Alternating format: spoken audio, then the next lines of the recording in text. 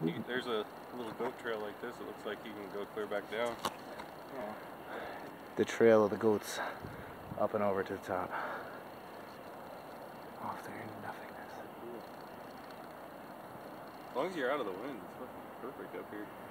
As soon as you hit that wind though, god Oh shit. Almost bit it right there.